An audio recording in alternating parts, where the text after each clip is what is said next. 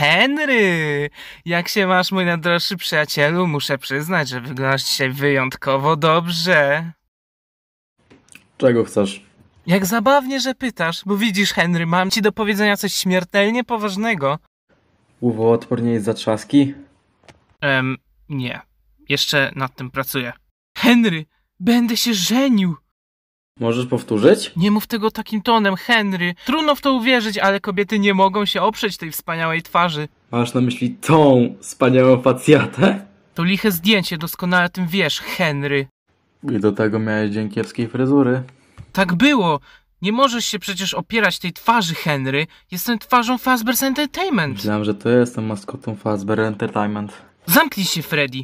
Dlaczego jesteś brązowy? Pochodzę z przyszłości. Rozumiem. Henry, jako mój najlepszy przyjaciel, chcę, żebyś się pojawił na moim weselu. Mm, kiedy się odbędzie? Właśnie teraz! Co? Kim się właściwie żenisz? Eee, nie pamiętam jej imienia. Jak to nie znasz imienia swojej przyszłej żony? No cóż, nigdy mi się nie przedstawiła, zapytała po prostu, ty, ty jesteś William Afton? A ja na to, ta. I wtedy ona takie, ten typ, którego widziałam kiedyś na tablerze? A ja ta, a ona, wyjdziesz za mnie? A ja, masz kasę? Ona na to, tak, a ja na to, tak! Teraz będziemy mieli dość forsę, cokolwiek chcemy. Możemy otworzyć siostrzaną lokację. Całość czasu nie ma żadnego sensu. Zamknij się, Freddy! Sam stul pys kudłaty. Do rzeczy potrzebuję dwóch świadków, więc wybieram ciebie i mojego syna Michała. Chwila, moment. Myślałem, że eksplodowałeś. Ja zawsze wracam. Nie chcę być żadnym świadkiem. Nie powinienem być pełnoletni?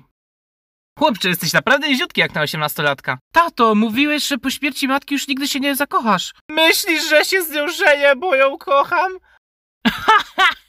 Rozwalasz mnie, młody. Jesteś okropny. Nieprawda, synu, po prostu... Jestem człowiekiem odpowiedzialnym za zagładę.